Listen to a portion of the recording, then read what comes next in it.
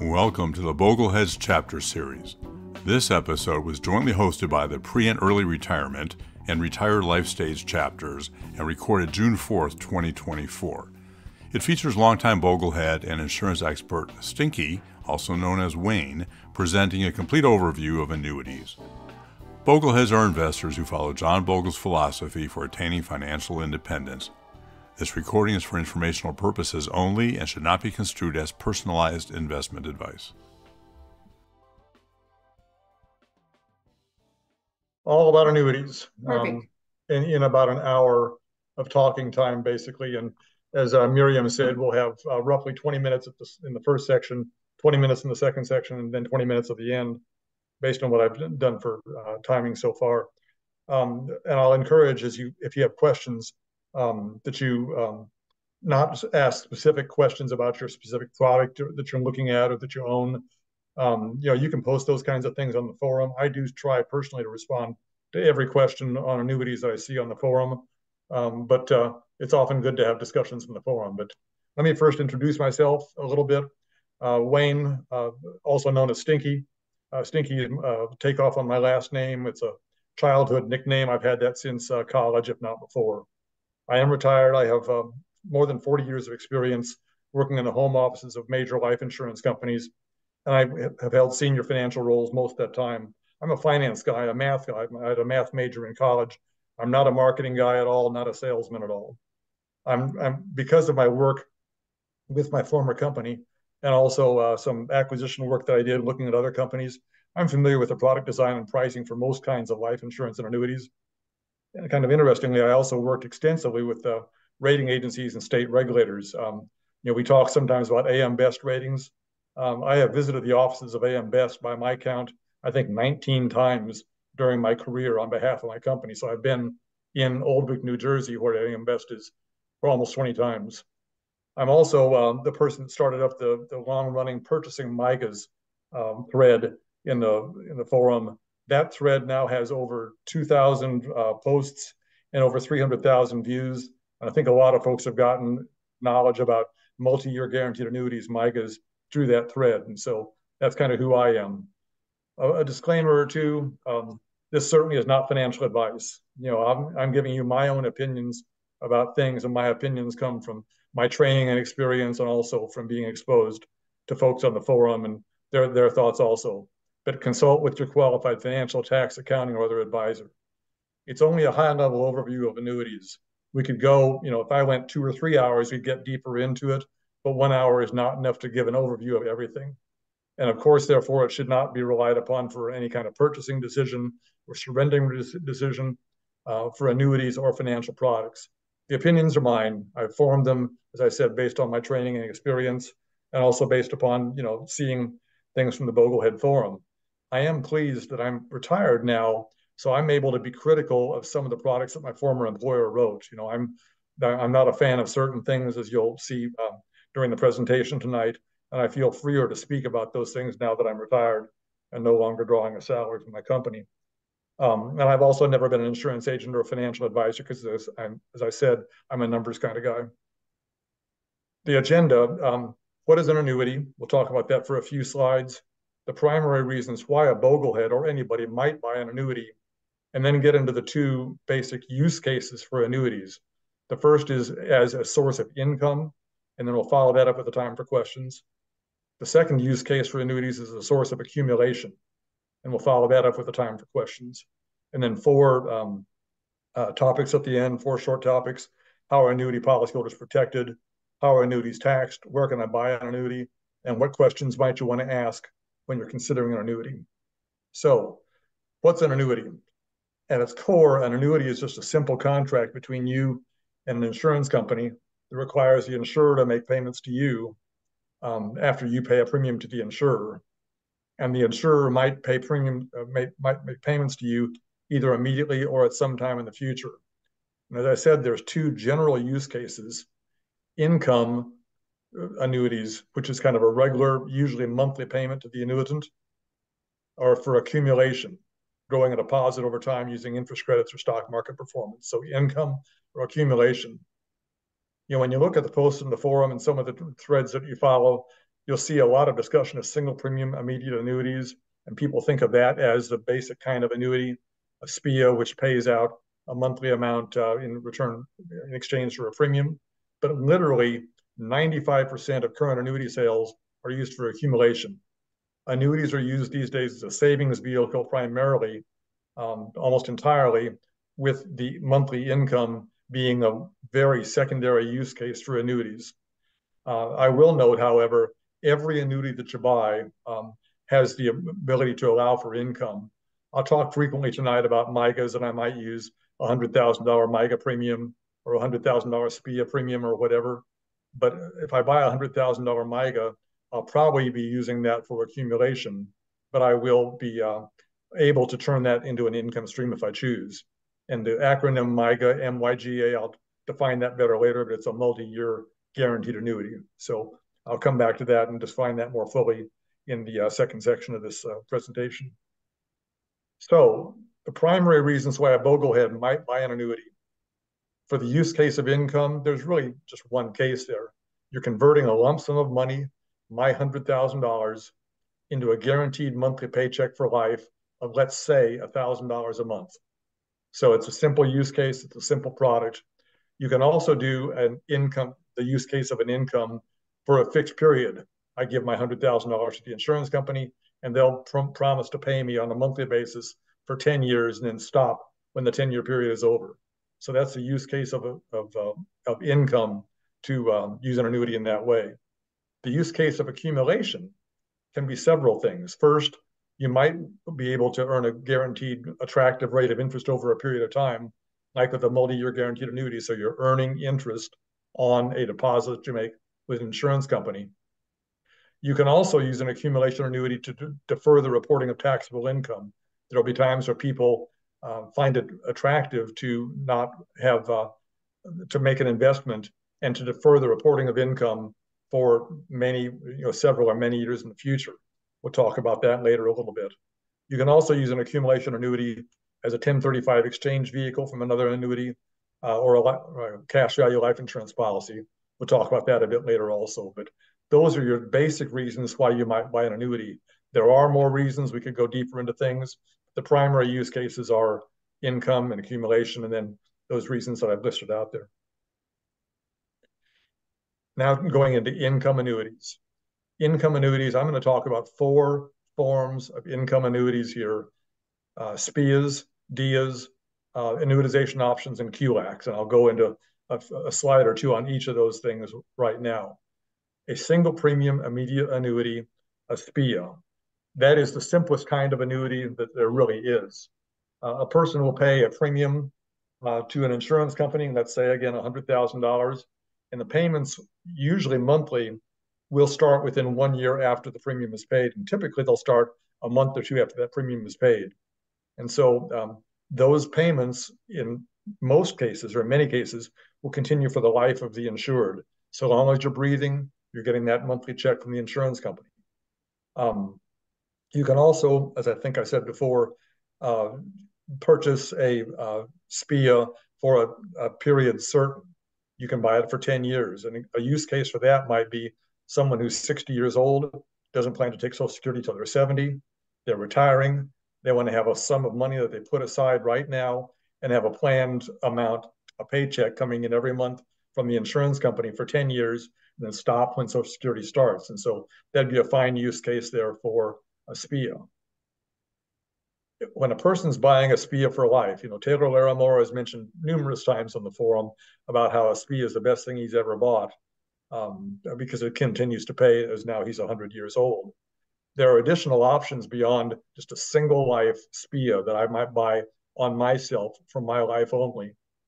One of the most typical things is to have a joint SPIA.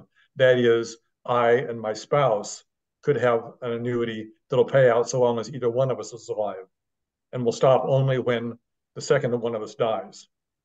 Now, of course, that if I was putting down my hundred thousand, getting a thousand dollars a month, if I include my wife, who's a female, who's younger than me, who will likely live longer than me, the monthly payment might be less than a thousand dollars because they're going to pay till the second one of us dies. A period certain annuity, that's the 10 year annuity that I've been talking about that uh, that just pays for a period certain. But you can also buy an annuity, it pays out for your life, but a minimum of 10 years. And so a period certain means that there's a certain period of time that'll be paid for, and then in addition, it'll continue paying after that for as long as I'm alive. A refund feature would say, um, if I pay my $100,000, it would take 100 months to recoup that $100,000 at $1,000 a month. If I died in month 90 or month 80, then the premiums would likely, or the uh, payments would likely continue until they reach one month 100. My beneficiary would get the, the refund of the additional payments uh, to get back to my $100,000 initial premium. And then finally, increasing. Most SPIAs are sold as a level of amount, $1,000 or whatever per month. However, there are options offered by most all companies to increase those uh, payments by 1%, 2%, 3% per year. And to, to, my knowledge, today in the in the U.S., those are only offered um, in you know percentage terms like one, two, three percent, et cetera. There's no insurance company that I'm aware of that offers a single premium immediate annuity that's tied to the CPI. Um, they were they have been sold at sometimes in the past, but they were not very popular at all, and they're not available now to my knowledge. But you can buy one that increases uh, its payments over time. And of course, if you're getting an increasing payment over time, your initial payment will be lower than that thousand dollars a month to compensate for the higher payments later on. So that's a SPIA, single premium immediate annuity, SPIA. A deferred income annuity, a DIA, is very similar to a SPIA, except that the payments start more than one year after the premium is paid. Let's say, for example, I'm 65 years old. I'm certain that I want to put down a premium today and start receiving payments when I'm 75. No payments to me between 65 and 75, then payments commence when I'm 75. Of course, if I put down my $100,000, I can get a lot more than my $1,000 a month because I'm not getting payments for the next 10 years. And the insurance company can invest that money and is not paying it out to me. Um, so, but there might be a use case where I know that I want to have payments starting five years or 10 years or whatever out.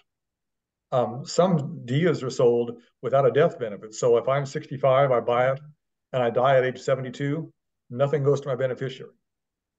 However, you can buy a, a return of premium so that if I die when I'm 72, that they'll get my premium back as a, as a death benefit.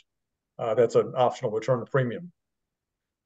I'll also say that in place of a DIA, a regular traditional deferred income annuity, you can have the same use with an indexed annuity with a guaranteed withdrawal benefit rider. Um, we'll talk about that a little bit later on. Most bogleheads don't care too much for indexed annuities, but if you attach a guaranteed withdrawal benefit rider, that effectively turns it into a guaranteed uh, product where the company can't mess with you and cutting your uh, credited rates in the future, and you can have uh, equivalent benefits to a uh, deferred income annuity with a uh, indexed annuity with a guaranteed withdrawal rider. So I believe that a prospective DIA buyer should look at both options, both a DIA and an indexed uh, annuity with a withdrawal benefit rider. So that's a DIA, something where payments start more than one year in the future after the premium is received. Next is the annuitization options in life insurance or annuity policies. If you look at any life insurance policy that you own and turn way to the back of the policy, you'll see that there are ways that the uh, insurance company can pay out the life insurance benefit. The vast majority of people take their life insurance benefits as either a cash, you know, a one-time check or as a checkbook that they draw down pretty quickly. But you do have the option in every life insurance policy to take the benefit, the life insurance benefit, as an annuity for your life for, for some period certain. Same thing with every annuity. Every annuity, be it a variable annuity or a MYGA or an indexed annuity, whatever, the vast majority of those are used for accumulation purposes. But there's a little clause at the end saying that if you want to turn this into a payment stream, that you can. And then the options that you have there for life only, period certain, et cetera, it's like you'd have in a SPIA. So that's the third use case or the third kind of uh, uh, annuitization options. And the fourth is a qualified longevity annuity, a QLAC. Uh, that is a fairly new thing uh, enabled under the uh, tax code. It's a payout annuity funded with an investment from an IRA. It's a, so it's qualified money uh, or a 401k or something else.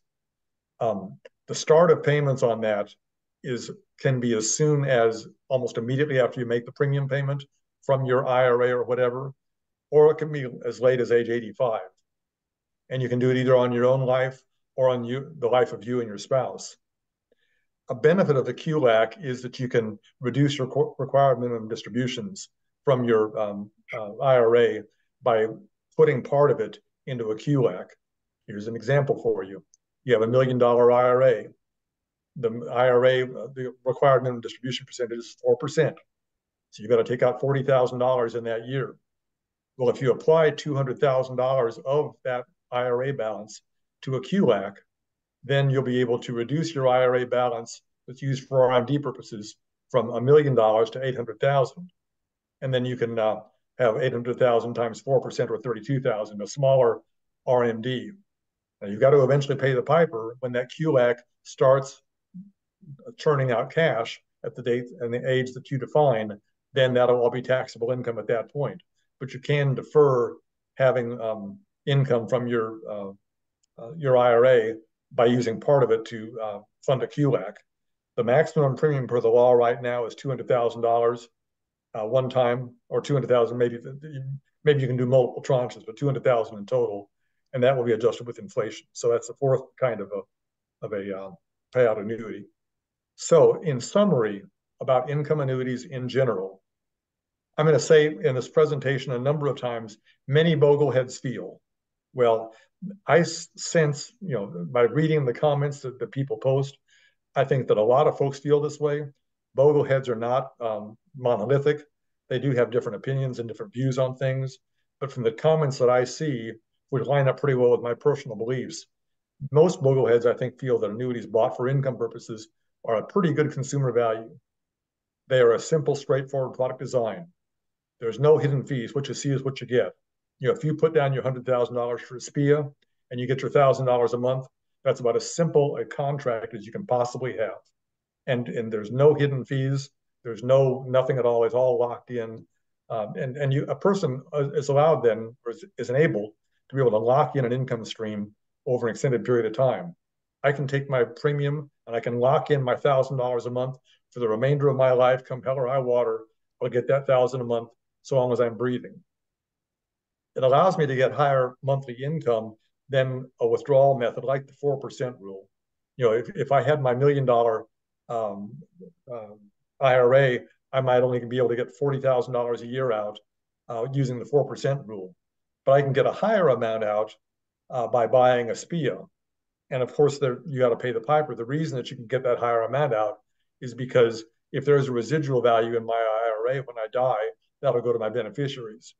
But unless I have some kind of a refund option in my SPIA, when I die, there's no residual value at all. So you can get more money while you're alive, but you don't end up having a residual value for your beneficiaries. But you can get higher payments. And for some people, it's an important thing to, to maximize current income. And that might be attractive if you have no heirs that you care about or anything like that. One thing commented on frequently on the forum is that infl- inflation does erode the real value of payments over time. Almost all of these annuities are done in nominal dollars, $1,000 a month. And so $1,000 a month in 2024 is almost certainly less than $1,000 will be in 2034 or 2044. So inflation does erode the real value of an annuity payment stream over time. Based on what people post in the forum, the you can buy a SPIA as young as age 40. But the vast majority of folks will be waiting until they're sometime in their late 60s, early 70s, mid 70s, maybe up in their 80s. That's the time when you're getting closer to the end of your life. The payments are higher and more attractive per thousand or hundred thousand dollars a premium. And a lot of folks seem to think that's a sweet spot for buying an annuity, a, a payout annuity of some type at that age. I'll also finally note that there are some lucky people in this group that still have an old style defined benefit pension plan. And the, many defined benefit pension plans have an option for taking a uh, either a monthly paycheck once you retire, uh, pension check, or getting a lump sum. And so the purchasing decision for that uh, annuity is very similar to thinking about a SPIA. Uh, with a SPIA, you have a lump sum of money. You choose to uh, give it to an insurance company to buy a, a monthly benefit. The same kind of calculation is there if you have a cash, if you have a defined benefit plan with a, a lump sum option. You have a lump sum available to you, but you can also go ahead and use that to, to buy a pension. And so with that, I finished up the first part of my presentation here, and uh, we'll take a few questions. Okay, you can post them in the chat or you can raise your hand if you have a question. Do we have any in the chat? Um, I have one thing to say, with, uh, Wayne, about that, the, um, the SPIAs. I know that Taylor has mentioned that he bought two of them. At, in one of his posts, he described how he did it.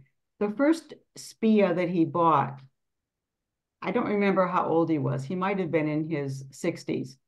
And he calculated, he wrote, he calculated how long he would live, probably. And he calculated it and he figured, okay, I'll live until I'm like in the, my late 70s, maybe early 80s, if that. So he bought the SPIA thinking that it would tide him over. He does have a pension. Taylor does have a pension, but he needed extra. He felt more comfortable, you know, more comfortable having more of a, of a steady stream of income coming in that would be there for them. And so that's when he bought his first one. And then, of course, he kept, you know, he got into his 60s, he passed through his 70s, he was in his 80s. He figured I'd better buy another SPIA. And so he then bought another one. And he is now 100 years old and five months, almost 100, 100 and a half years old. And so for some, you know, it it solved his problem or his, eh, it wasn't a problem so much, but it solved, it helped him to feel comfortable with the income stream that he had. So he did not have to worry about whether or not he took it, too much money out of his Vanguard accounts, his retirement accounts or not. So that seems to me to be a, a, a good, you know, a good reason for a SPIA. Well, there's a, there's a definitely a comfort level in having a monthly paycheck come in. Yeah. He likely had a monthly paycheck or a weekly paycheck for his entire working career, and switching from that mode of having known income coming in to not having income, maybe except Social Security, that's a rather big break. Yeah. Having a SPIA can tide you over and, and make you feel a lot more comfortable with covering the basics of life. Your basic expenses are being covered by a known amount coming in, and there's comfort in that. Yeah, yeah. Uh, Lady Geek. Oh, I just want to say we have three questions in the chat. Okay. Uh, first one, Arctic Pineapple Corp. Love that name. Can't remember the name of the rider you spoke of when discussing index annuities, but it but is an index annuity with the rider you spoke of parentheses that makes it similar to a DIA parentheses more expensive than just buying a DIA. Are the surrender fees greater or longer than a DIA? Okay, well, there if you're using in the use case of a indexed annuity with a guaranteed withdrawal benefit, the uh, you're using it as a DIA. You're not going to surrender it. So you're using it as a DIA. You're gonna you're planning to turn that into an income stream, and so surrender charges don't make any difference. Crediting rates may, don't make any difference. That that guaranteed withdrawal benefit rider guarantees that based on some phantom account value, that's being run within that uh, indexed annuity, that you'll get a certain percent of that every year. It is fully guaranteed. And um, Stan, the annuity man's website, is the only one that I'm aware of where you can actually run quotes on uh, guarantee on uh, indexed annuities with guaranteed withdrawal benefits. But you can compare, you know, and you should compare uh, to see if you get a higher monthly income five years from now or 10 years from now using a guaranteed withdrawal benefit uh, on a, an indexed annuity or a DIA. It's very um, carrier specific, circumstance specific. You can't make a general rule about it, but all the Boglehead uh, concerns about indexed annuities, they fall away when you attach that guaranteed withdrawal benefit rider to it. Then it's just a question of what's the monthly income that you get off of that compared to a DIA. Okay, let me come back to Bob. Let me come back to Bob K. Uh, because Kim, I think you kind of slid into Kim's questions. Where do you where do you recommend one purchase an annuity? I've heard of Stan the Stan the annuity man and immediateannuities.com and what to look for. That's section three. Section three coming up. I have a full okay. slide and my okay. Uh, Bob K. Uh, what happens if the insurance company goes bankrupt? That's uh, section three also. Section three, three. okay. uh, products not you don't recommend. That'll be in uh, section. That'll be in three. section two. Okay, and okay. Oh, oh, all right, and then pro and con of cash refund or no cash refund for a SPIA option. It just really depends on whether you want to take kind of more insurance risk. Uh, you know, oh, people will take a refund type option or a period certain option. I mean, what happens if you're 70 years old, you buy a SPIA and you die next month with no refund? People are concerned about that. And so, I mean, people who are in bad health shouldn't buy SPIAs. I mean, the, the people, I, I, will say, as a whole, the population of people that buy SPIAs and buy payout annuities is on average well healthier than the average US population. If you're a smoker, you don't buy a SPIA because because you're going to die. Okay, uh, and and uh, so, but uh, you can also always have the freak accident or cancer or whatever, and so it's just kind of peace of mind. Um, you're getting the most pure insurance protection by not having any kind of a period certain or any kind of a, a, a refund, but uh, you'll um, maybe have more peace of mind if you have one of those features. Okay. Okay. Uh, Mel, Mel, yeah, Mel. Lady Geek, uh, oh, you're back Mel, Mel, you have a question? Yes, I, I, I really... uh, it's a thing about retirement. okay, I just muted. Uh, Are you? Oh, yeah. Mel, okay, go ahead. Or did you call somebody else? Hello, Mel. Mel, it's you. Can you hear me? We can hear you. Yes, speak up. This is, well, I just, yeah, this I just, I just wanted to add to Miriam's comments about Taylor's uh, annuity. Uh, he has expressed a number of times to me and probably others that one of the reasons he really likes the income stream is it makes him comfortable giving his money away now to his children, which is a big thing because you have the option when you give it away to your children to see the benefit of it uh, as opposed to when they get it after you die. So it makes him comfortable giving the money away to his children, and that makes him happy seeing the way they're using it. Yes, he has mentioned that many times on the forum. Why don't we uh, go you. ahead? If it, I, am not looking at the chat to see if there's other questions out there I should answer now, but I'd kind of like to go on to the. Okay, I just want to introduce Mel. Mel Lindauer yes. is one of the founders of the bogleheads.org and posted on the Morningstar forum when we were the Vanguard diehards since 1998. Yep. Okay, Wayne, ready for okay. part two? Part two, accumulation annuities. As I said before, you know, uh, accumulation annuities are literally 95% of the annuity sales these days. People buy annuities, what's called an annuity, for accumulation. And there's four kinds of an accumulation annuities I'll talk about here, going really from the simplest to the most complex. Um, a multi-year guaranteed annuity, a MYGA, indexed annuities, which at one time were called equity indexed annuities. A buffered annuity, which is a fairly new innovation, is also called a registered indexed linked annuity, RILA, and a variable annuity. So those are the four kinds of accumulation annuities that I'll talk about here. Each of those, and this is kind of confusing, each of those is called a deferred annuity because annuitization, the, the, the verb or the, the word annuitization, I'm using that as a conversion into a payment stream it's deferred after the issue date. And most accumulation annuities are never annuitized. Let me give you an example. I have a number of multi-year guaranteed annuities that I've mentioned previously on the forum. I own those.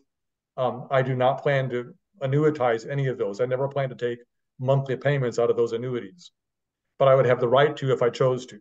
The vast majority of sales are accumulation, and the vast majority of accumulation sales uh, are never annuitized but still they fall in the general category of annuities. And so it's a bit confusing nomenclature, but um, uh, that's that's the way it is. Multi-year guaranteed annuities. Half of annuity sales are multi-year guaranteed annuities. The rest of all the other annuities is the other half, but multi-year guaranteed annuities are extremely popular At one time, they were called CD annuities. C is in certificate, D is of deposit. So they are analogous in a lot of ways to a bank CD in that they pay a certain interest rate for a certain period of time. I'm going to use as my example here 5% for five years. You can get better rates than that right now, but the math is easy with a 5% rate for five years, um, which is an attractive rate. And then when that interest guarantee period expires, the annuitant has some options. He can stay in the current product. The annuity continues on um, at that time. But if the company is offering, gives him a good renewal offer, maybe another five years at another 5%, he'll take that and leave the money with the company. He can exchange to an annuity with another company if he chooses, or he can take the funds out in cash. And so he has options as that five year period expires. Now, these annuities are all withdrawable. Um, a MYGA, I can get my money out of a MYGA anytime that I want. But there are pretty stiff surrender charges and withdrawal penalties on most of the kinds of annuities we'll talk about in this section, and MYGAs are no exception to that. Uh, many MYGAs will have a surrender charge in the first year of six or seven or eight percent of the account value, plus a market value adjustment, which can ding you if interest rates have gone up since you uh, uh, bought the annuity. Most MYGAs or many MYGAs allow free partial withdrawals, and so you know you can take a withdrawal of often 10% of your prior year account value without any penalty, and so you can get access to your funds without penalty but going above that 10% free partial withdrawal, um, uh, you will you will not be able to do it without without penalty. There's a tremendous amount of variation in MYGAs between different companies and even within the same company. Some companies offer, offer MYGAs with both no free partial withdrawals and with partial withdrawals, and so you need to be darn sure of what you're doing with withdrawals characteristics uh, when you buy a MYGA.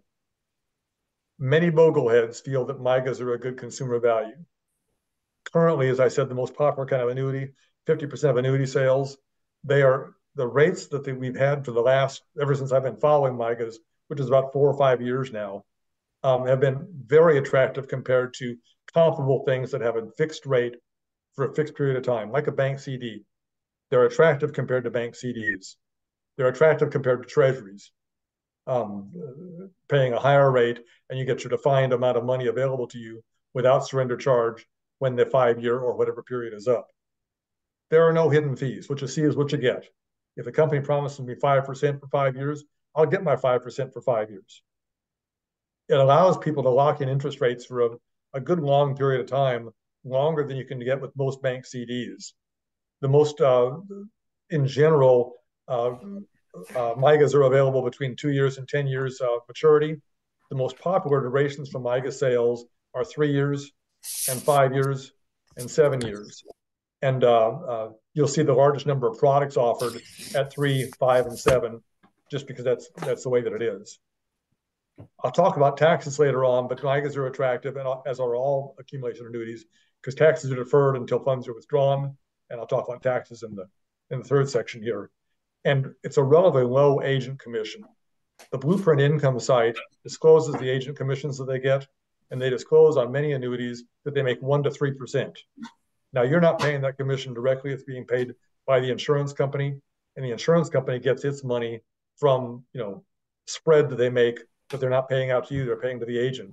But that one to three percent commission rate is a fairly low rate compared to some other products, and so it's a more attractive consumer value to you because the commissions paid to the agents are fairly low.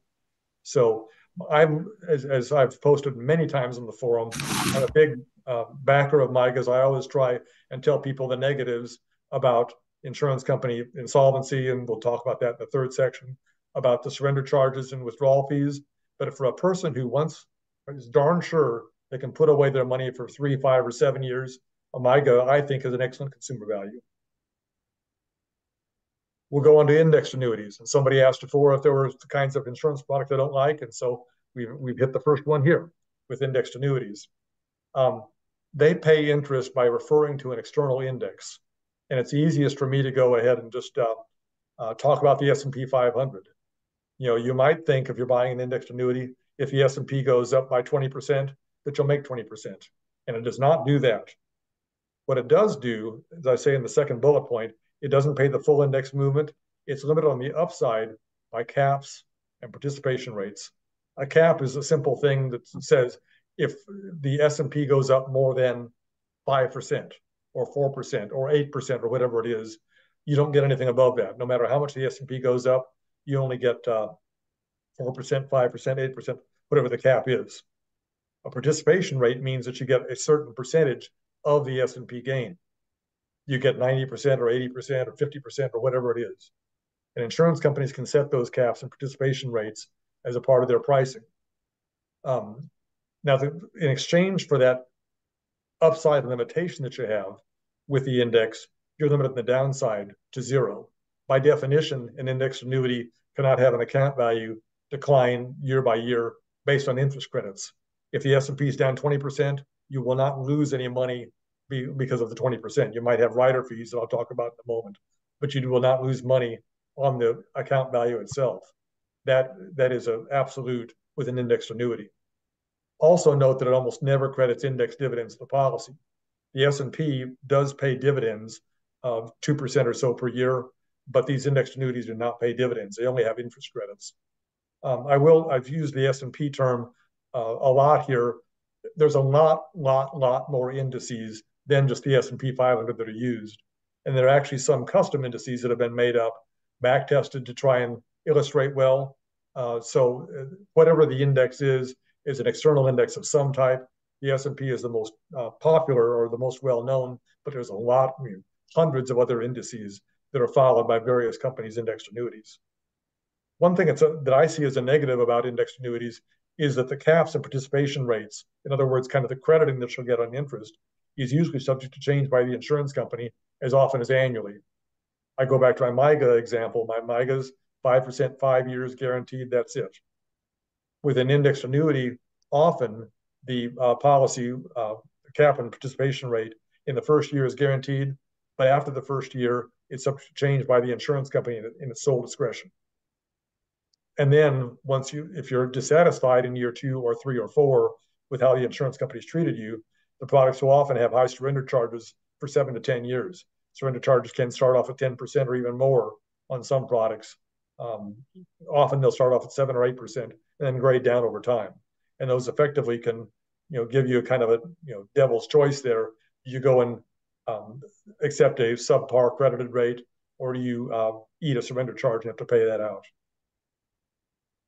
Now, uh, just like on MYGAs, many policies do allow free partial withdrawals of 10% uh, per year, and then withdrawals over that allowance are subject to surrender charges and market value adjustments. There are riders that are available on indexed annuities. The most popular one is a guaranteed withdrawal benefit rider that I described briefly in the prior section.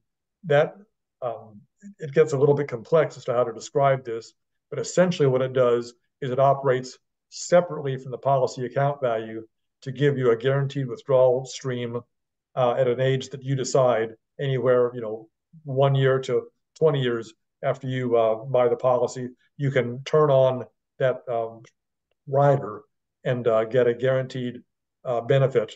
Uh, and uh, the withdrawals are made from your account value. And, and even if you drain the account value, the guarantee there is that the payments will continue for as long as you're alive those riders have fees, and the fees can pull the account value down in a year. A guaranteed withdrawal benefit rider might cost 1% per year. And so even if your interest credit is zero, if you have a 1% fee, then your account value would decline by that 1% fee. You can also have a guaranteed death benefit rider. That's not as popular on a, on a uh, indexed annuity. Many bogleheads believe that um, indexed annuities are not a good consumer value. One of the biggest um, problems I have is that the insurer can change the bargain every year by adjusting cap and participation rates. You buy a policy, you get a big promise going in, and then um, after that, um, there's no guarantee that that promise will be unchanged in future years, and you're trapped in the annuity. The rider fees can eat away at account values. The surrender charges that I've mentioned before. Commissions are much higher on indexed annuities. That's one of the things that is almost always true indexed annuities will have commissions that are six to eight percent. Some can be as high as 10%, various bonuses. Some can be lower. And insurance companies don't print money. They do not have printing presses. They rely upon you know, interest that they earn on their funds for generating money. And to the extent that they're paying out more money to the agent, then they have less money to pay out to the policyholder.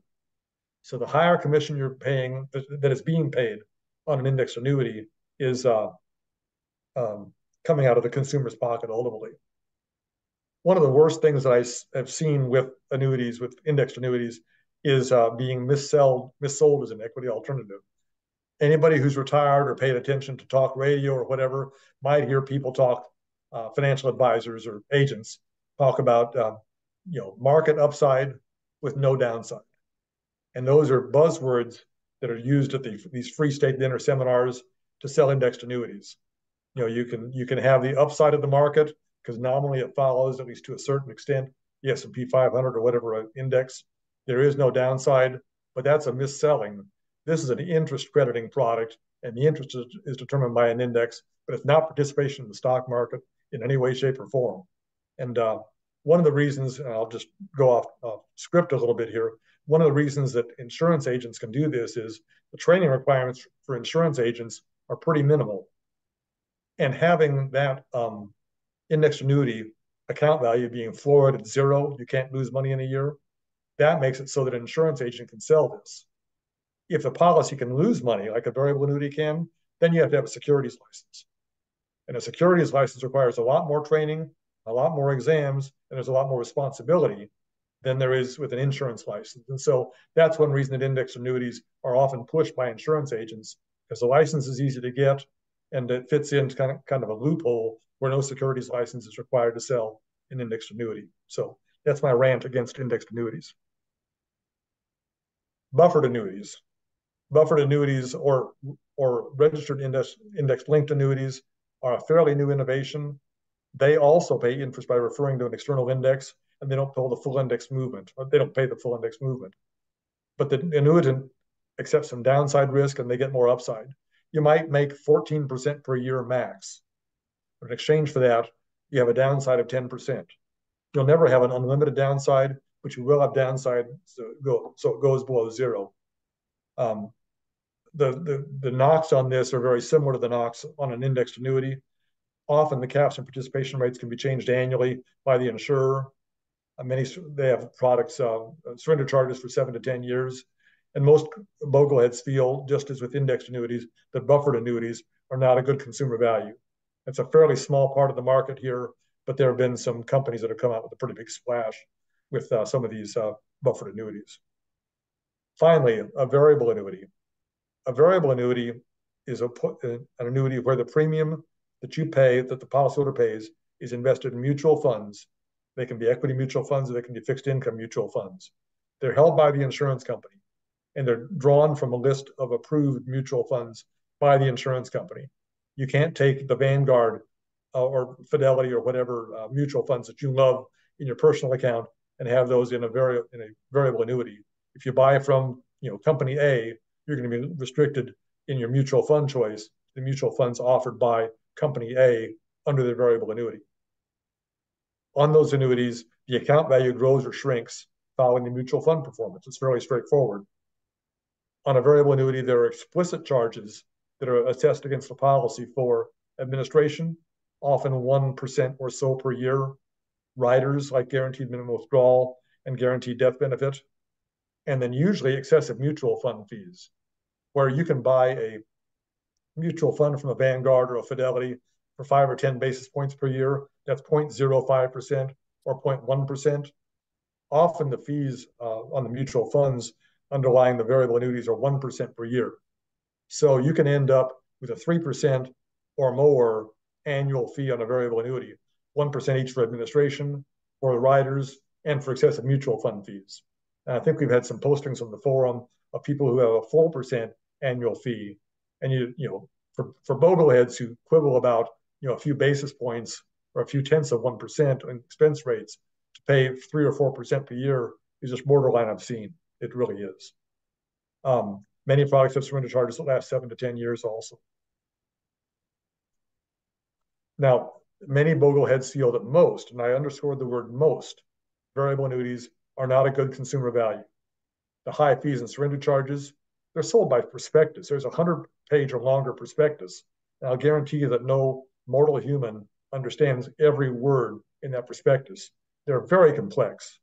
The rider fees can eat away at account values, surrender charges, and they, then again, the, the six to eight percent uh, commission is usually paid on annuities like that. However, there's an exception to the rule about variable annuities, and that comes with Fidelity and other low-cost variable annuities. Most of you will know Fidelity as a you know mammoth fund uh, accumulation mutual fund company, and they do very well at that. But Fidelity, as a part of its corporate structure, also owns a life insurance company, Fidelity Investments Life Insurance Company, and that company offers a stripped down, bare bones variable annuity at very low fees. 25 basis points, that's 0.25% per year, is the administration fee, I believe, and it goes down as your account value goes up.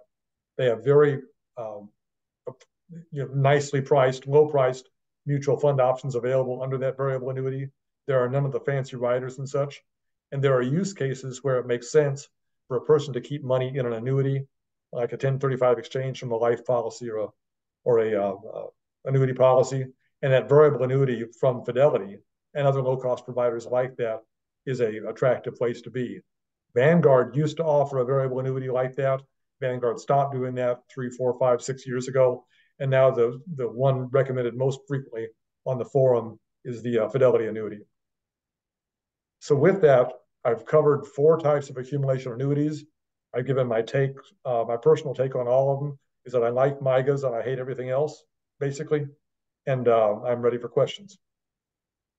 Okay, questions on the second section of accumulation annuities? Anything from the chat?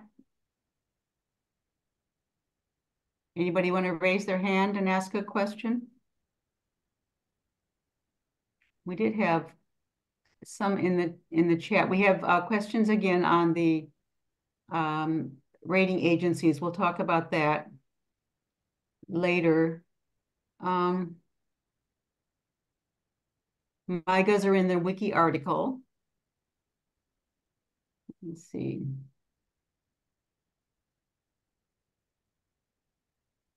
Um, here's one question. For existing purchased products, mm -hmm. is there a company, a third party, that can review it? It can review the purchased product. I suppose that would apply to all annuities whether there is somebody who, um, uh, there are people who can assess life insurance policies, whether they are good or not. There people who are I'm, independent. I'm, I'm not aware of anybody who does that for for pay. You, know, you can come on the Boglehead forum and you know get you know free advice from various folks, but I'm not aware of any firm that does that as a matter of business. Okay. The one thing I can say, Mike, he was the one that posted the question, is that we used a a person for our life insurance policy, an assessor, and he came from the Consumer Federation of America. And I no long I don't know if he no longer does I don't know if he does that any longer.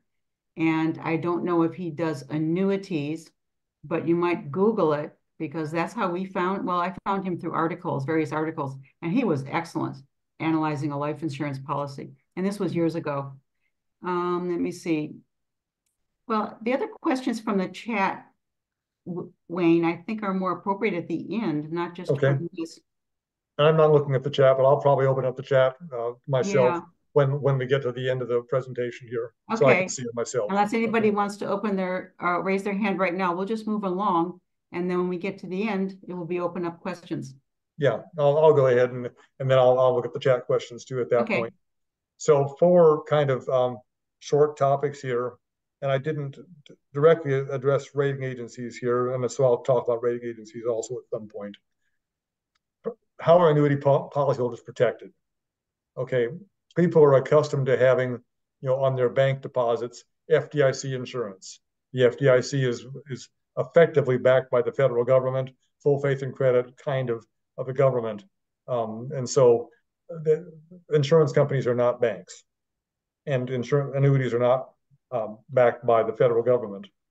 Rather, they're covered by state run life and health insurance guarantee funds. What would happen um, were I, as a, as a resident of Alabama, to um, be unfortunate enough to be a policyholder of a company that goes broke, then my state of Alabama guarantee fund would step in and uh, protect me and uh, provide me with uh, uh, recovery of under the terms of the Guarantee Fund Act. Those are not governmental entities. There, there is no tax funding that supports any guarantee fund. The, the guarantee funds are supported by assessments, mandatory assessments by the guarantee fund on the insurance companies. For example, New York Life, I'll use their name sometimes, big, strong, excellent company. New York Life is, is authorized to do business in Alabama. And New York Life would be paying into the Alabama Guarantee Fund to help uh, put up uh, the to make up the hole if my insurance company went in the in the tank. Guarantee fund coverage varies by state. Most states cover $250,000 of surrender value per insurance company per individual, and some cover more, some cover less. Um, so if I have a multi-year guaranteed annuity for $200,000, I should have full coverage of my surrender value, not necessarily the account value, but the surrender value by my state guarantee fund. One thing to stress with guarantee funds, though, is in the event that an insurer fails, it may take years for consumer to get all of his money back. I'll contrast that with banks. I've never, thankfully, been a customer of a failed bank, but my impression is that if a bank fails, it fails. Uh, you know, you, you, go into the bank Friday and it's a failing bank. The FDIC examiners come in over the weekend. They take it over. They sell it to a new bank or package it up or whatever, and it opens up for business on Monday under a new name, and funds are fully available. It's effectively a seamless process, and the FDIC has gotten very good at um, taking over failed banks and uh, making uh, insured depositors whole very, very quickly. That's not the way it is with insurance guarantees funds. Even in the best of cases, your money might be locked up with the company for months, a short number of years, um, just because that's just the way that it is. Now, typically in insolvencies, uh, the first thing that happens with an insolvency is a court will move in. The court has the right and the ability to uh, uh, modify. I'm on mute, so. Uh, Miriam, you're not on mute. Why is it locked? Yeah, I can't get into the bar. Uh, the court has the ability to modify contract terms. And so I have a right to surrender under my insurance policy, but the court can say, in order to, to preserve the estate, we're not going to allow voluntary surrenders usually in an insolvency, they give priority to death benefit payments and uh, income annuity payments, the regular $1,000 a month payments, but not surrenders.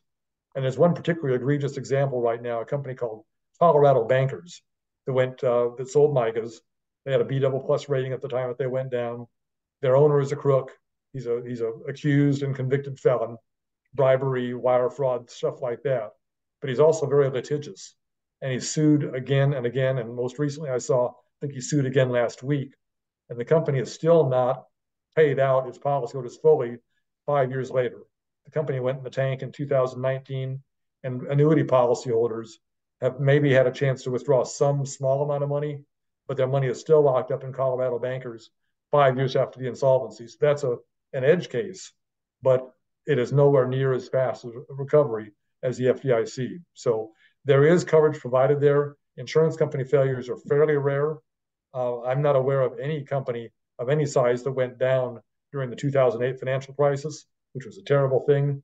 Even AIG, that uh, had problems, did not have problems at the insurance company. They had problems at their holding company and the, the entities that did the uh, CMBS, not at uh, uh, that did the uh, def- credit default swaps, not the ones at, at the insurance company. I had an AIG life policy. There was never a problem with that. But uh, um, that's not to say that things, bad things won't happen in the future. And with that, I might talk just about the rating agencies. Let me go back. Uh, rating agencies. Um, every company basically is rated by AM Best. AM Best is a specialty insurance rating agency that's been around for for many, many, many years, uh, hundred, you know, more than hundred years and they make it their business to rate every life insurance company and every property casualty company that they can. And you, when you see ratings on the various uh, agents' websites, most frequently you'll see the AM Best rating. AM Best, the very strongest ratings are A double plus, A plus plus that is, and A plus, and then down to A and A minus, and then you get into your B categories. I can't, you know, as the ratings go down, the risk of default increases. There's been several times, uh, several places posted in the in the forum, and if, if anyone wants to private message me, I can send the text again. AM Best has put out a table showing the cumulative default rating over a period of 30 or 40 years by rating category, by how long it's been since there was ratings. And so people need to make their own best judgments as to um, uh, what rating they'll find acceptable for a certain uh, period of time. For me, if I was looking at a, a SPIA that I expect to pay out for 20 years on my life, I want a pretty high rated company. I've said publicly in the forum that uh, for MYGAs, which I do purchase, I uh, these days would probably not buy a MYGA from a company rated B double plus or lower um, beyond three years. Uh, I'd want to be in the A category for anything longer than three years. Uh, but uh, that's a personal preference, and people need to make their own decisions. Insurance company failures are extremely rare, but they do happen. And now we can talk more about agency, about rating agencies in the chat and or in the questions. Changing topic entirely. How are annuities taxed? Um, me make sure I'm in the right place. Yeah, how do how are they taxed? First, note that annuities can be purchased through a traditional IRA, a Roth IRA, or using taxable funds. With a traditional IRA, like any other IRA, all withdrawals are taxable. And just note that a person can have multiple IRA accounts and the RMDs are calculated over the aggregate of all IRAs. I have a Vanguard IRA, but I might have also have a bank IRA and I have IRAs with all the various insurance companies that hold my MYGAs. Those are all commingled into one big pot. I, I have to add it up and come to the total number of my IRAs. And then um, when I'm of RMD age, I'll apply the RMD percentage to see how much I need to take out. If my if my RMD percentage was five percent, for example, for a certain year, I do not need to take five percent out from each IRA. I can take five percent in aggregate, and that's good enough. So, but uh, they the uh, annuities in an IRA are the same as an annuities, are the same as IRAs at Vanguard or a bank or any place else. Second, a Roth IRA annuity. Very few people from seeing on the forum, I think, put uh, um, annuities in their uh, Roth IRA. But if you, you do put one in a Roth IRA, all withdrawals are tax are tax free. Now, a taxable accumulation annuity, we'll spend some time on that because this is a little bit more complex. This would be the use case, say, of buying a MYGA or an indexed annuity and then accumulating money within that. It's important to note reporting of taxable income is deferred until funds are withdrawn from the annuity. What does that mean? Let's say that I bought a five-year CD from a bank. Even if I let the money, the interest accumulate in that CD, the bank is going to report interest income to me every year. So whether I get the cash or not, they're going to report taxable income to me every year. Insurance companies under annuities don't do that. You, the only way that you'll get taxable income reported to you is if you take um, money out of the annuity. I can allow money to accumulate in my annuity tax deferred. Second thing to note, withdrawals are taxed as income first, followed by basis. Let me give you an example. My $100,000 MYGA made 5000 in the first year. I then want to make a $10,000 free partial withdrawal. So I have a $105,000 account value. The first $5,000 of my withdrawal is taxable income. Taxable income comes out first. Then the next 5,000 of my of my withdrawal is basis. There's no tax on that. But they're taxed as income first, followed by basis. Importantly, the next point, accumulation annuities don't receive a step up at death. Therefore, annuities defer but don't, do not avoid taxes.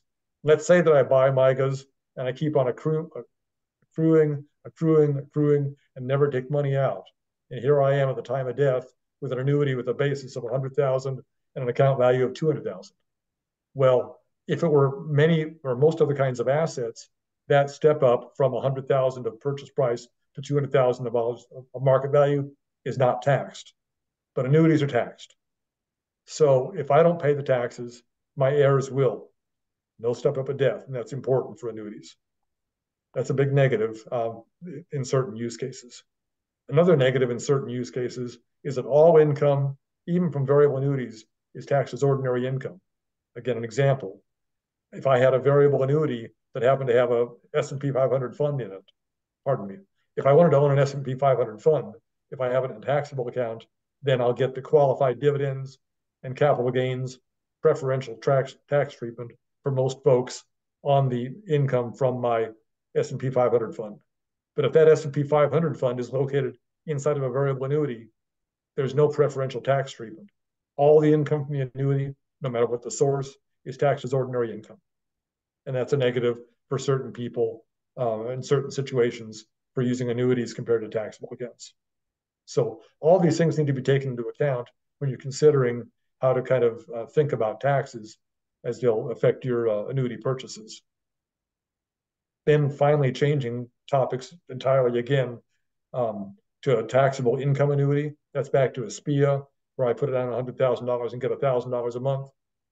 Part of that 100,000, part of that $1,000 a month, representing the interest part of that, is going to be taxable income. The rest of it is, is treated as return of basis and not taxable. And the insurance company will report to you each year what part of your SPIA payment is taxable and what part is not taxed. And so there's a what's called an exclusion ratio uh, that uh, is used to determine how much is taxable and how much is not. So taxes are an important part of annuities. The great thing about annuities is they defer taxes, but the bad thing is they do not not avoid taxes and there's no step up at death. And they turn all income into ordinary taxable income. Changing topics entirely again. Where can I buy an annuity? Now, all annuities are sold through licensed insurance agents. You have to have an insurance license, which is not that tough to get to sell an annuity.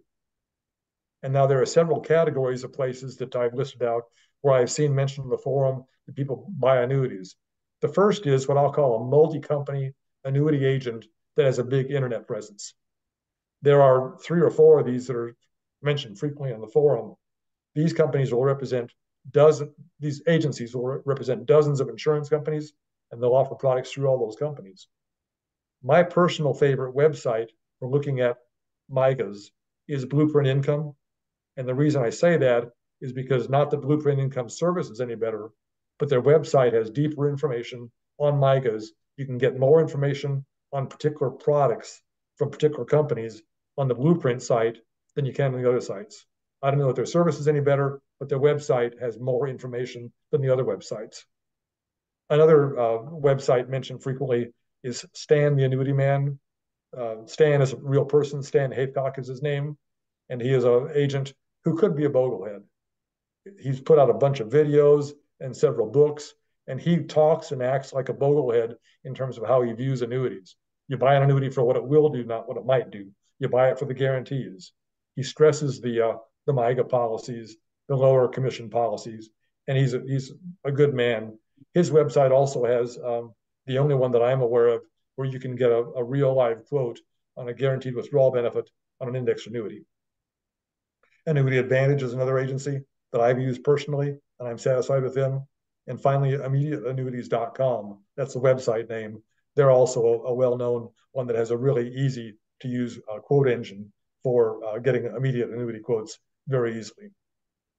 So that's the what I'm calling the multi-company annuity agents that are often mentioned on the forum. Nationwide, they all write in all 50 states. Now there are, are two well-known companies, well-mentioned companies on the forum. There are probably a few others that sell through company employees who are also agents. Canvas Annuity, which sells through a company called Puritan Life, and Gainbridge Annuity, which sells through a company called Gainbridge, they sell through company owned agencies.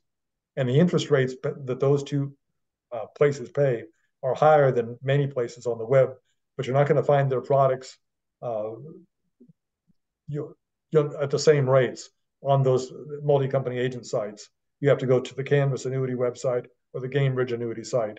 I think that one reason they might have for paying higher rates is because they figure they're saving on the distribution system costs by, by employing their own agents instead of paying commissions out. Next, I'll mention that brokerage firms, in particular, I know that Fidelity and Schwab broker a limited selection of annuities. Typically, at those sites, you'll find only the very highest rated companies the New York Life, the Mass Mutual, the Guardian Life, USAA, folks like that are shown, and there's a very limited number of products. You'll also find that for the higher, in, in general, not always 100% true by any means, but in general, the higher the rating on a, of a company, the lower interest rate they pay on their product. And so you will not find as high of interest rates on the Fidelity website for a certain product uh, for in general compared to what you'll see on Blueprint Income. I will say New York Life, for example, sells on both the Fidelity website and on uh, Blueprint Income.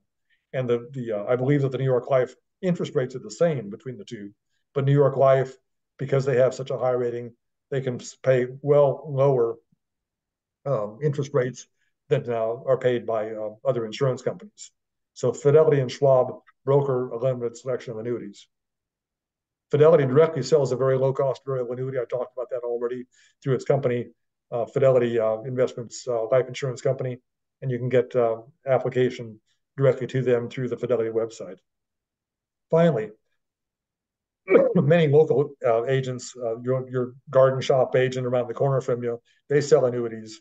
Um, they often have a more limited selection. They might just represent a few companies. And often their products are going to be indexed annuities, which, which many Bogleheads disfavor. But you can buy annuities through a local agent, but you're likely to get somebody who really specializes in annuities and has a broader selection of companies that they deal with if you go with one of the uh, websites that I mentioned in the, in the second bullet point there. So those are the places that you can buy an annuity. Finally, the last uh, real uh, slides here. What questions could you ask if you're considering an annuity? What are the kinds of things that you might think about as you're uh, considering an annuity? First, are my annuity benefits guaranteed or can they change? SPIA, the payments are fully guaranteed for life, fully guaranteed. With a MYGA, interest rates are guaranteed only for, for, but they're only guaranteed for the initial term. You may have to change to a different company after that initial term to get an attractive rate. But with indexed, credited rates are at the insurer's discretion, and the variable product, it depends on market performance. And so, you know, how important is a guarantee, a flat guarantee to you? And uh, um, just consider uh, what your comfort level is on that. Second, what are the penalties for withdrawing my money? On SPIAs, there's no penalties because there's no right of withdrawal. Once you put down your $100,000 premium, you're locked into that contract. If you've elected one with a with a refund and then you die, your beneficiaries will get a benefit. But uh, there's no right of you to surrender a SPIA. Once a SPIA is in place, it's in place, and there's no right of surrender. With MYGAs, indexed, variable, really all the rest of these annuities, you can surrender the policy. If you're early in the policy period, you may very well have surrender charges or uh, market value adjustments. Um, and it's important knowing going in uh, what those are if you have any indication you might need to withdraw money. What fees will I be paying? SPIAs and MYGAs have no explicit fee at all. There's no fee. You know, as I've said with both of those things, what you see is what you get. Your thousand dollar monthly payment on your SPIA, no fees. Uh, your five percent interest rate on your MYGA, no fees. I know as an insurance company, you know, practitioner and an employee, there's an implicit fee buried in there because the insurance company has to make money, has to pay for administration, has to make a profit, has to cover risk charges and such. And the implicit fee is about 1% per year. That is, they're paying you as a policyholder about 1% less than they're making on their assets. And that 1% spread covers all their costs. Indexed annuities do not have an explicit fee either, but the implicit fee is higher because the commission is higher and the, the implicit fee on indexed annuities is roughly 2% per year, somewhere in that range. Finally, with a variable annuity, there are explicit fees that are laid out uh, in the contract, administration fee, rider fees, the expense charges on underlying funds. Then finally, do I understand what I'm buying here? Stan Haithcock, um, uh, Stan the annuity man, often says, you know, you shouldn't buy an annuity if you can't explain it to a nine-year-old no offense to nine-year-olds. So I think a SPIA qualifies as an annuity you can explain to a nine-year-old. And I think that a MYGA might be an annuity you can explain to a nine-year-old. But can you explain a variable annuity with a 100-page prospectus to a nine-year-old? The answer is no. Again, you've got to determine your own comfort level on things like that. But uh, um, do you understand fully what you bought? It's amazing how little from the posts on the forum that I see people are being pitched on index annuities, especially that they have no friggin' idea what they're buying or what the impacts of that are or what the penalties are or anything else. Uh, and it's really important if you're buying a complex uh, financial instrument like an annuity that you understand what you have. So uh, I will go on and show you there are several wiki articles on the Bogleheads wiki about uh, various types of annuities. I, uh, when the, I give the PDF, hopefully these links will be active and you'll be able to click through on the PDF and uh, get to the various links in the Boglehead wiki. And with that, um, and an hour and 15 minutes into the conversation here, I'm done with the prepared presentation. Um, I'll open up the chat to look at some of the questions here, and then I'll I'll um, see what. Uh...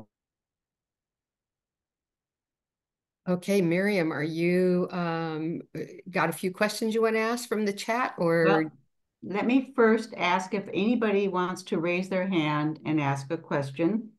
Uh, we can open it up for questions on anything and everything on annuities, personal experiences. If not, yeah. Jean, do you have from, oh, Maggie? Yeah, I think that's a good way to go. The chat is so variable about statements versus questions. It's hard to study a long chat like that. Okay, well, if you have questions from the chat, Jean, I'll, I'll take you next, okay? Uh, I have one or two. Okay, good. Maggie, let's go to you first with your raised hand. Maggie, you are muted. Sorry. Hi, Maggie. Hi, how are you all? Thank you for this. That was an excellent presentation, very thorough, and I have still probably so many questions, but I just um I'm entertaining the idea of converting a whole life insurance policy at some point over to a um, an annuity because that's what they're recommending because I do not want to have to pay taxes on the capital gains. But it sounds like I'm going to have to regardless of how I do it. So I just wanted to know uh, if he has any idea of how USAA is with their rates and their performance. Well, you've asked about four or five things. I'm so sorry. Uh, in, I'm so sorry. The question really, um, first, there's no capital gains that are involved with this. You use the term capital gains. I don't mean to pick at your words there, but when you're talking about income, either um, income gain on a life insurance policy surrender or income from a annuity, that's all ordinary income. There's no capital gains involved with that. Uh, yes, if you um, if you were to do a 1035 exchange, 1035 is a section of the tax code, and you can exchange a life insurance policy for an annuity, and the basis will carry over. So, for example, you've uh, paid 100,000 in premiums on your life insurance policy. The policy cash value is 120,000, and so you roll that cash value over to an annuity. The $120,000 will uh, be um, uh, your account value 100,000 is your basis and you'll have a $20,000 embedded gain there. If the money's in an annuity, then you will not avoid taxation. You will either pay taxes while you're alive or your beneficiaries or heirs will pay them after you're dead.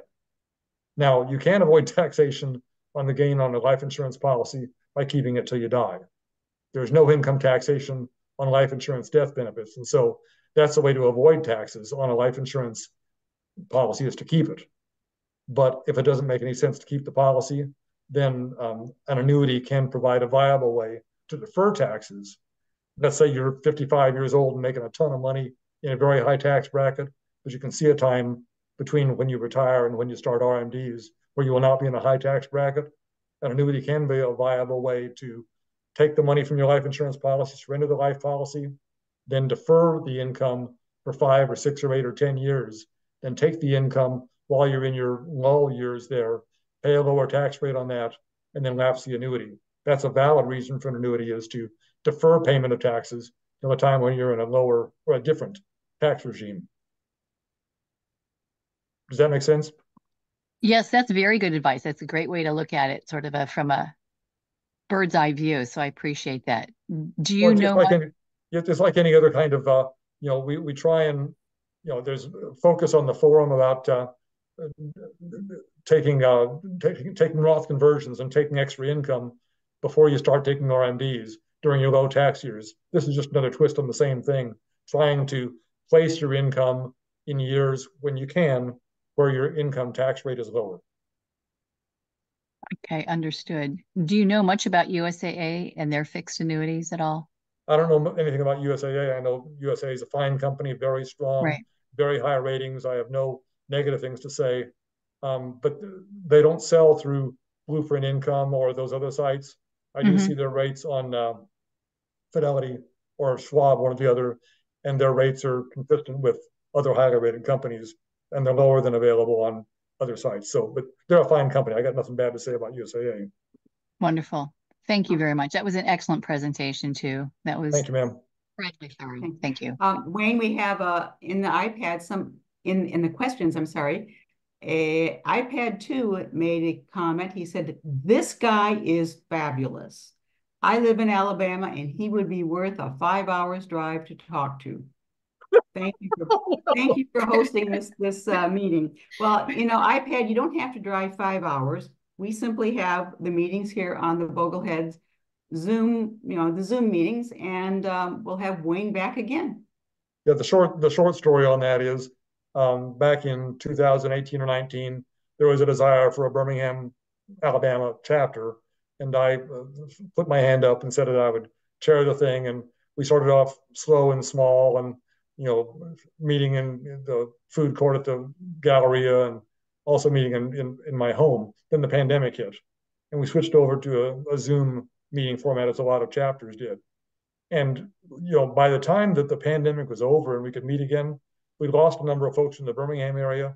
I picked up some people from elsewhere, and so I just kept the chapter going as a Zoom only chapter. You can check the U.S. chapters. I just put out maybe our next meeting is this, this coming Sunday at 4 p.m. Central Time. We've got about 12 to 15 people that show up for the meetings most times. It's whatever's on folks' minds. And uh, I encourage anybody who wants to to, you know, either post in that uh, thread or send me a private message, and I'll be happy to add you to the uh, mailing list. And I send out. We meet every two months on Zoom, um, uh, and uh, at four o'clock Central Time on a Sunday afternoon. And I'll keep the meetings going until uh, God calls me home or until people stop showing up, whichever happens first. well, I think uh, Wayne, you are much too um, you know, that there's more to it than that. But you run fabulous meetings and more than, you know, sometimes there are 45 people at his meetings. They are warm. You can ask questions. It is what the Bogleheads really are for. Everybody, people helping other people in all, all their personal financial matters. And the meeting on Sunday is about real estate. And he has um, Birmingham Bogleheads who are very good, know real estate very well, and they're going to speak about the new real estate, what, what is it, the regulations or the, the settlement about settlement, yeah. buyers and sellers commissions. So it should be a very interesting meeting this Sunday. Yep. Okay, Jim, do you have a question? A raised hand question?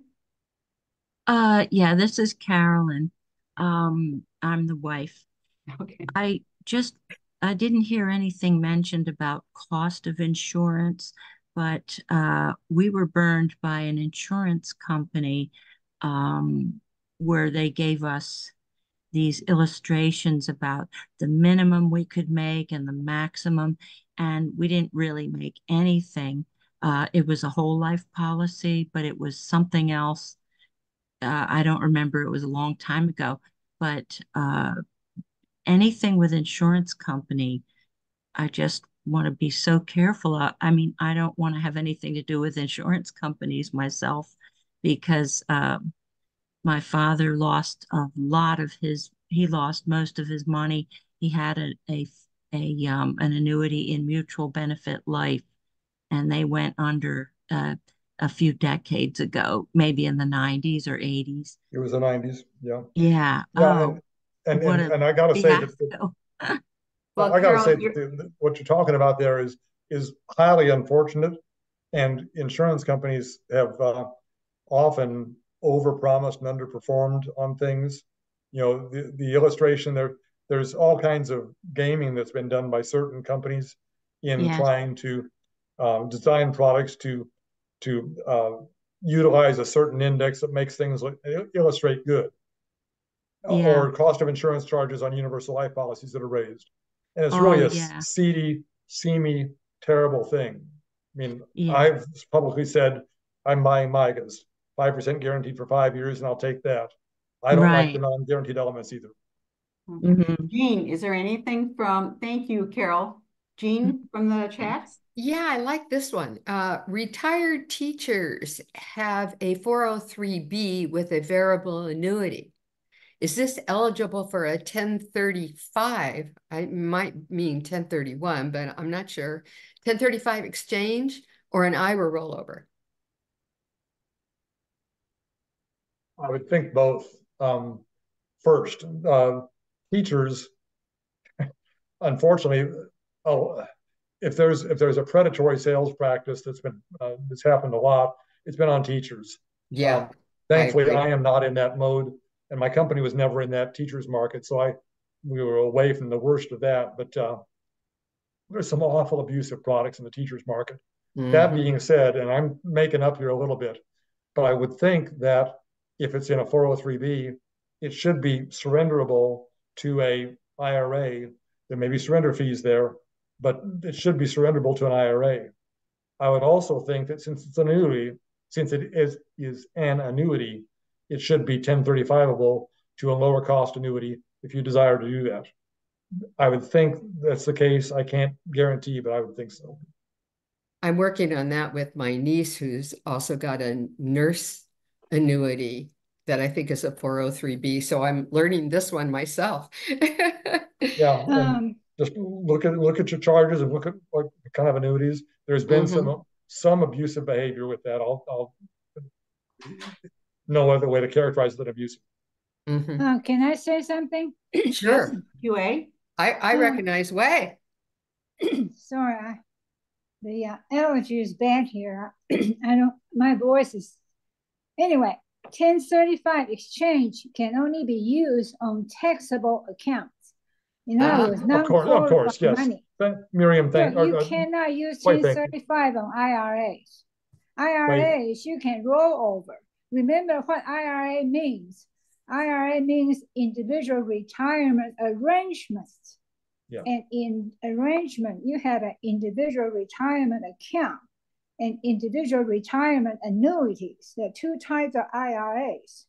So if I if 4143B is a uh, employer sponsor retirement account, you should be able to roll that over to an IRA. Yeah, and, I don't see the problem. And and and I, I, I was wrong in saying 1035. You're right, Wade.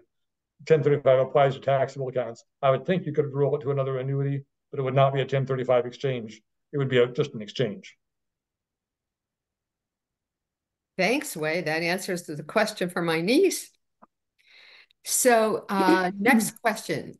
Any opinion on long-term care annuities? I haven't heard of these.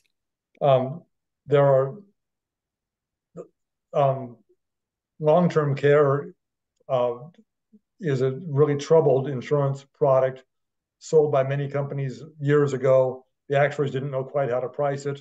And so traditional standalone long-term care is really not very available these days.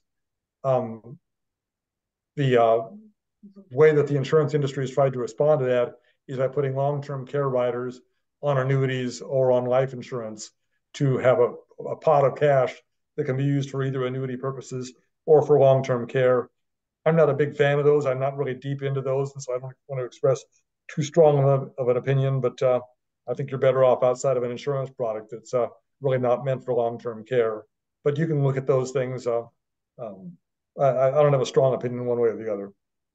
Okay. Um, Wayne, one question that came up in the chat is that you have ratings, the rating system for companies, insurance yes. companies. Are, is there a rating system for the products? The no. products. In other words, like mutual funds, you can find out whether certain mutual funds really are highly rated or not. How about for these insurance products from these different companies? No, there is there is no uh, there, there's no uh, uh, rating agency or rating firm that rates insurance products. If you Google, you can see some really superficial reviews out there on the internet on certain annuities, but they're so superficial to be worthless. So no, there is no. Um, it, it's it's doing your own due diligence or you know posting on the forum and getting the opinions of, of other people about this particular product versus that product. That's too bad, but it's the case is there a an annuity forum? I know there is a teachers forum. I, I visited the teachers forum. Uh, very nice. Some Bogleheads run it for teachers and their finances. But what about uh, you know insurance products or uh, annuities in particular? Is there? I'm not aware of anything. No, no, I'm not aware of anything. Okay. Um, on the ratings of the companies, we do have some questions on the, the companies, how they rate these, uh, I'm sorry, how the rating companies rate the insurance companies. And you mentioned that the ratings, um, the insurance companies have different products and the ratings do not necessarily cover each, do I get it right, the entire insurance company, AIG being an example, that they had trouble in one area, but not in another area. And we had a relative, actually, we had a, uh, an insurance policy from Bankers Life. And I understand that they had difficulties, but they had no trouble with their insurance uh, difficult. They had no insurance difficulties, even though the company had difficulties. Yeah, um, insurance companies are a legal organization unto itself, um, and the ratings applied by AM Best none of the other agencies, Standard and Poor's and Fitch and Moody's, they're, they're providing a variety of ratings, but they're rating the financial strength rating or the claims paying ability of the insurance entity. In the case of AIG, for example, AIG Life Insurance Company, and American General Life Insurance Company, and Variable Annuity Life Insurance Company, they were all part of the uh, AIG group. They are owned by AIG Corporation. Some, you know, some maybe two, two levels upstream or three levels upstream or whatever. Um, and the, the insurance companies are regulated by the state insurance regulators who have fairly tight controls over the company. The insurance regulators, for example, have the ability to um, to uh, set uh, invested asset limits, concentration limits. Um, they require fairly stringent financial reporting. They can um, deny dividends being paid out of the life insurance company. So it's not uncommon. I think Bankers Life, I think that was part of the Conseco group, uh, and Conseco went brand, went broke, but Bankers Life, the insurance company owned by Conseco, did not go broke. Same thing with AIG. AIG had real problems, but the AIG life companies did not. Um, does, does that answer your question? I'm trying. Yeah, to... one thing it means is that if you hear on the news something about your insurance company, you don't have to panic. You you well, examine, yeah, the, you examine further what happened.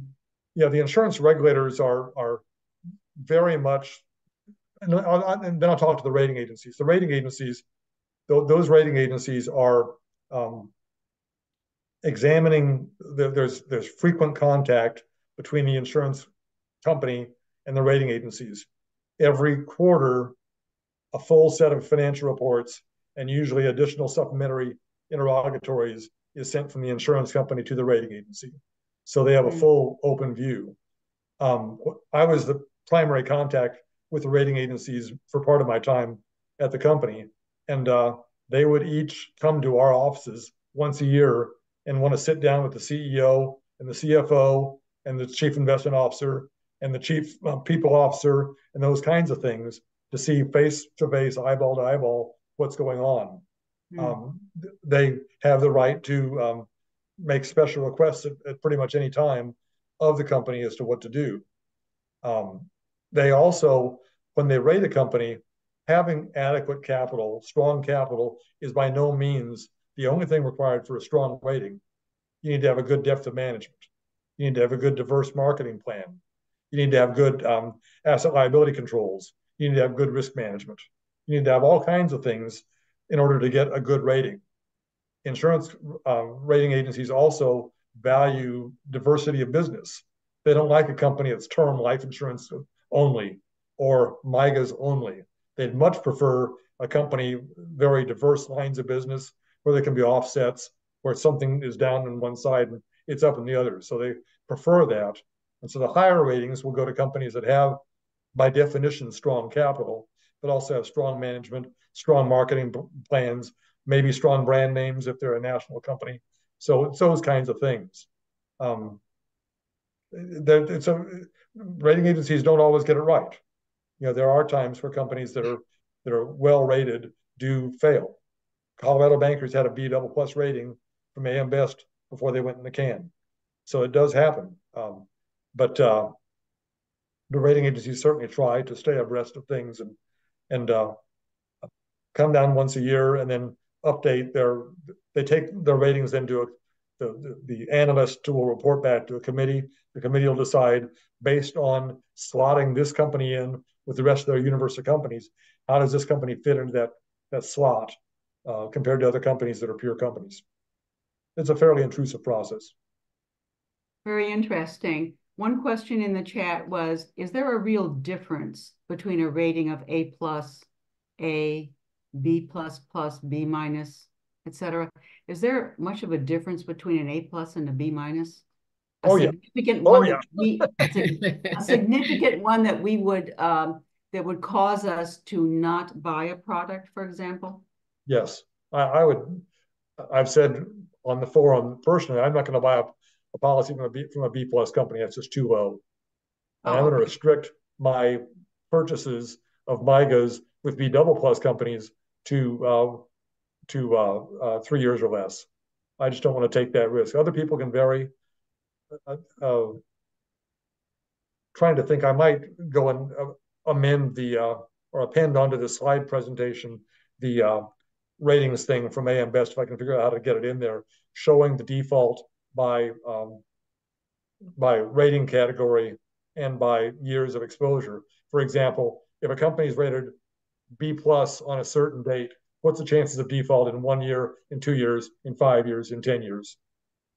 Now, of course, we don't operate on averages. We operate on a policy, on a company. And so, you know, there have been very, very few insurance defaults, but, uh, you know, things do happen sometimes and companies do go down sometimes. So, uh, yes, I would not buy it from, from a B plus company. I'd buy, if it was New York Life, which I regard as the king of the industry, I'd buy in any amount. I mean, New York Life actually has a has a rate band. You can get a higher rate on a MYGA if you put $10 million with New York Life. And I don't have $10 million, but if I did, I'd feel comfortable with New York Life's credit. Interesting. Any other questions? Any raised hand? Jean from the uh, chat? Yeah, from the chat.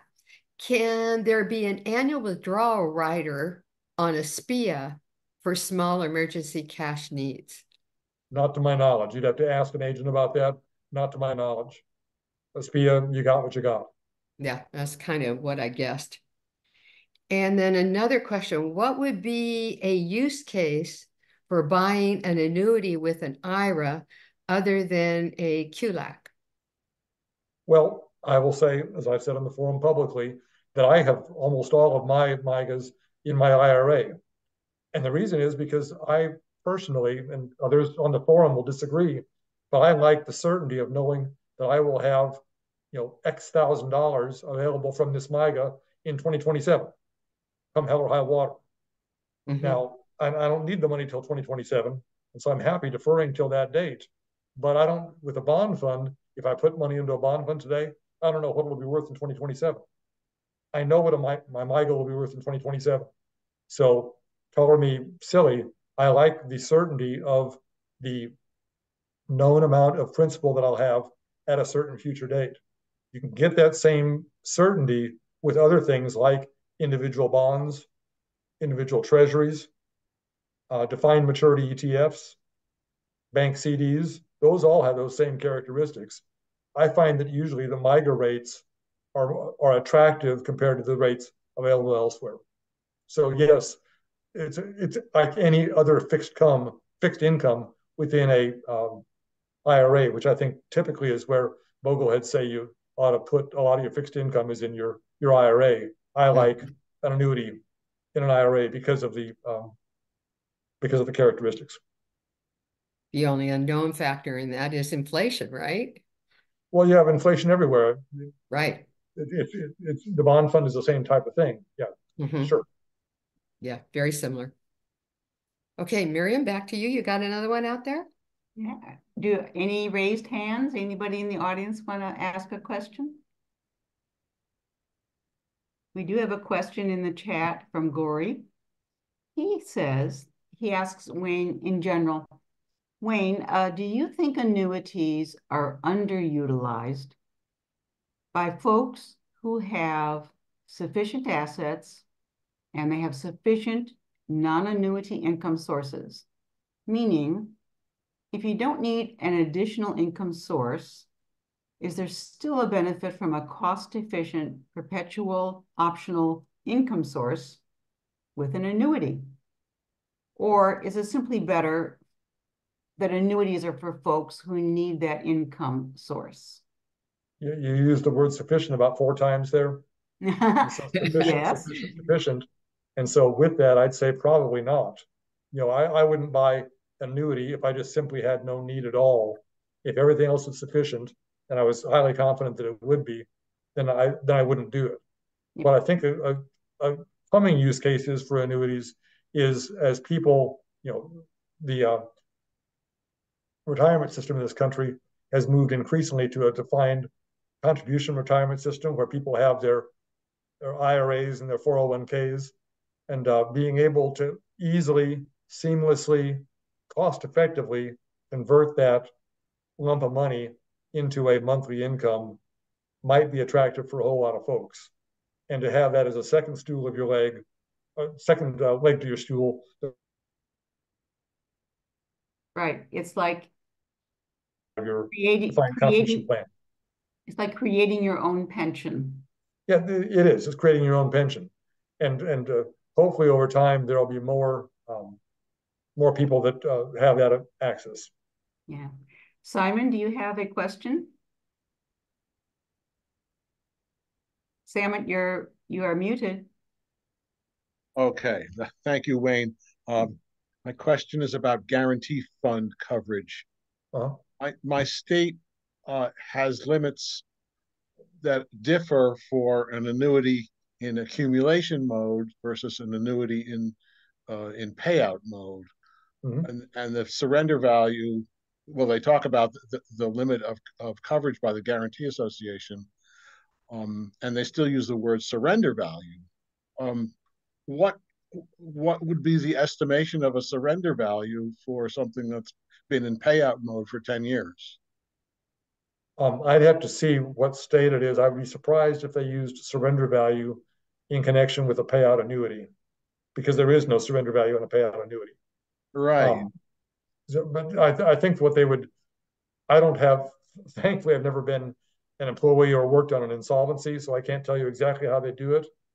But it would seem to me that uh, what they would do if, if for policyholders who had payout annuities of uh, an insolvent company, is that they would do evaluation of those annuities using kind of first principles. You know, what's the present value using actuarial principles of a stream of thousand dollars a month for a person who, for a male age 75, you know, whatever that is. And that's how they would come to the value that's covered by the guarantee fund. It is not uncommon. It's, it, it is common for there to be different dollar amounts of coverage for payout annuities and for accumulation annuities. That's common. Yeah. Thank you. Um, I, will I'll go back and read it more carefully. Thank you. Yeah. Hey, Jean. Um, I've got one from the chat. Does cost of insurance allow insurance companies to take most of the interest earned away? Well, cost of insurance would not apply to a um, a uh, annuity. Uh, the only kinds of things that are even remotely close to a cost of insurance would be rider fees on an annuity. Cost of insurance, that, that term is used almost exclusively when you're talking about life insurance and specifically universal life. Universal life has explicit cost of insurance charges. And the relationship of cost of insurance on a universal life policy to the interest just really depends upon what is the amount of insurance that you have and what's the amount upon which you're earning interest. You know, so they're two entirely separate concepts. The interest earned is the amount earned on the account value. The cost of insurance is based on your age, sex, and amount of insurance. And the two can be very close to the same or dramatically different, but there's really no linkage at all between the two. They're two separate concepts. But that, that applies to life insurance, universal life, not to annuities. Excellent. Wow. You really know your stuff. 40, 43 years.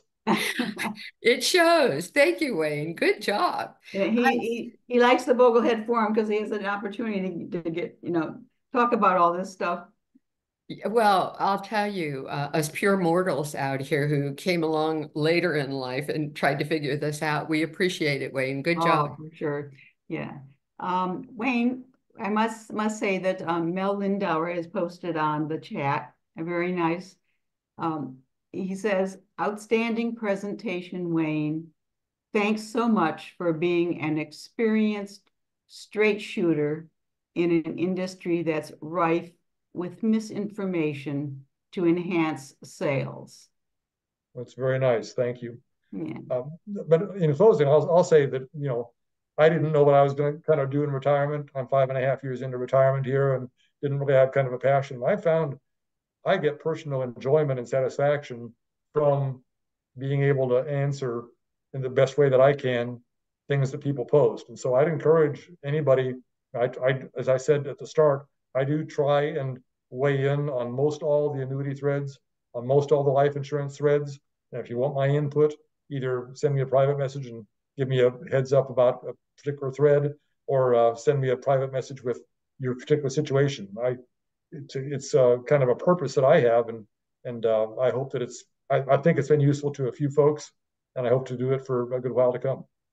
Mm-hmm. Um, one other possibility, possible use of an annuity, is where I've read that. Let us say that we are, you know, younger, and we're taking care of our elderly parents and we have ourselves the possibility of dying earlier than our parents, but we are taking care of them. In other words, to use it as to buy an annuity for them, you buy an annuity for them so that if you pass away earlier, at least they have an income stream for them. Now, there's also life insurance, of course, but what is, um, what would you say about that? Well, you know, that would probably not, a way you could structure that would be as part of your will to direct your will or your trust or whatever. I'm not an attorney by any means to buy an annuity on your parents at that point. It'd probably be less effective to go and buy one on you as you're a youngish person and to have it being paid out when you don't need the income. Right. If your goal is to try and help out your parents um, after your death. But it would be it would be a way of doing things to direct that your in your will that part of the your estate will be used to purchase an annuity on your parents. That's that again that there may be twists and turns there that I don't understand, yeah. but just in terms of raw kind of actuarial and mathematical things, that's a way that you.